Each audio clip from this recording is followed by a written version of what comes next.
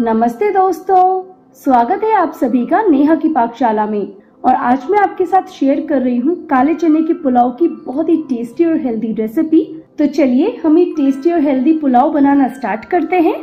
सबसे पहले हम चनों को बॉईल करेंगे। तो यहाँ पर मैंने तीन कप काले चने लिए हैं। इनको हम कुकर में डाल देंगे। चनों को मैंने रात भर के लिए भिगो दिया था और अब ये अच्छे से फूल चुके हैं। साथ ही में हम इसमें डालेंगे एक कप पानी और एक टीस्पून नमक। मिक्स कर देंगे अच्छे से।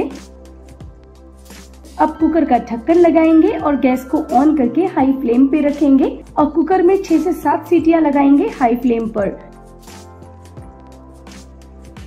कुकर में सात सीटियाँ आ चुकी हैं तो अभी हम गैस को एकदम लो फ्लेम पे कर देंगे। और 10 मिनट के लिए चनों को लो फ्लेम पर और पका लेंगे। 10 मिनट के लिए हमने चनों को लो फ्लेम पर भी पका लिया है तो अभी हम गैस को ऑफ़ कर देंगे और कुकर को बिल्कुल ठंडा होने देंगे। तो कुकर जो है हमारा वो बिल्कुल ठंडा हो चुका है तो अभी हम कुकर को खोल लेते हैं। और देखिए, चने जो है वो अच्छे से बॉईल हो चुके हैं।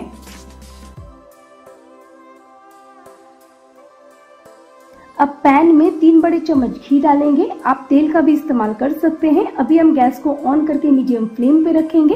और घी को गर्म कर लेते हैं। तो घी जो है वो गर्म हो चुका है तो गैस को मीडियम लो कर देंगे, जिससे कि जो भी हम मसाले इसमें डालेंगे वो जलेंगे नहीं।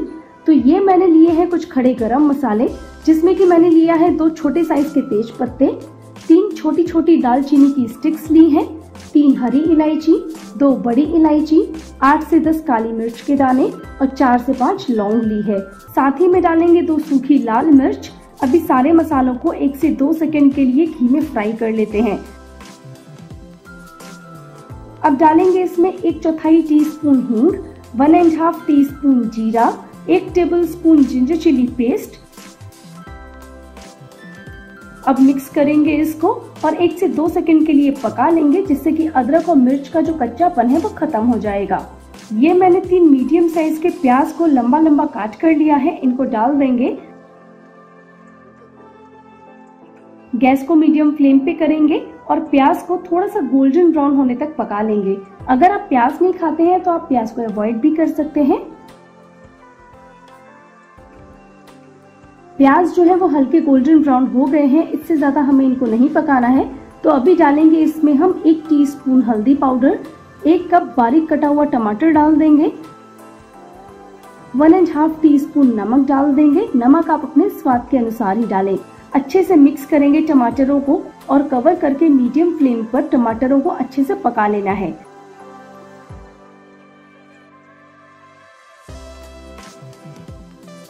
तो अभी देखिए, जो टमाटर हैं वो अच्छे से पक चुके हैं। तो जो चने हमने बॉईल किए थे ना, वो अभी इसमें डाल देंगे।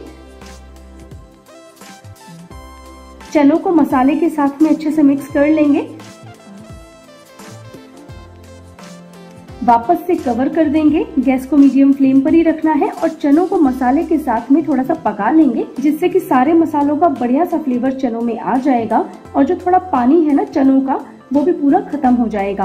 पाँच मिनट के लिए हमने चनों को मसाले के साथ में पका लिया है तो अभी एक बार हम इसको चेक करेंगे। तो अभी आप देख सकते हैं कि जो चनों का पानी था, वो पूरा खत्म हो गया है और बहुत ही बढ़िया मसालों का फ्लेवर चनों में आ गया है। तो अभी हम गैस को एकदम लो फ्लेम पे करेंगे और अब इसमें जाएगा ये पका हुआ चावल। यहाँ पर मैंने दो कप बासमती चावल को अच्छे से धो करके स्टीम राइस प्रिपेयर करके रखा हुआ था। वही मैं इसमें इस्तेमाल कर रही हूँ। आप लेफ़्ट ओवर राइस से भी इस पुलाव को बना सकते हैं। तो चावलों को अभी हम हल्के हाथ से मिक्स करेंगे, क्योंकि जो चावल है वो पका हुआ है। अगर हम जल्दी जल्दी मिक्स करेंगे तो चावल टूट जाएगा। और ये जो पुलाव हम बना रहे हैं ना, ये खाने में बहुत ही बढ़िया लगता है हेल्दी भी है और बहुत ही यूनिक सी रेसिपी है ये पुलाव की। तो उम्मीद है कि आपको ये रेसिपी ज़रूर पसंद आएगी।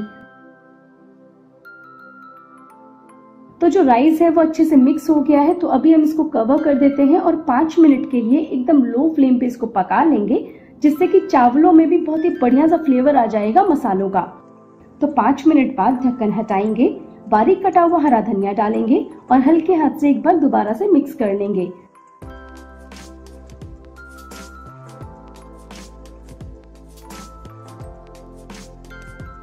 तो अब ये हमारा काले चने का जो पुलाव है वो बिल्कुल रेडी है। तो अभी हम गैस को ऑफ़ कर देते हैं और गर्मा गर्म पुलाव को एक सर्विंग बोल में निकाल लेते हैं।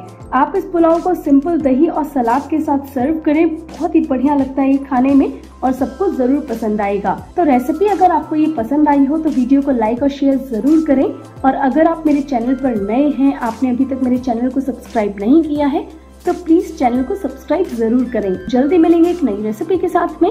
तब तक के लिए bye bye take care have a nice day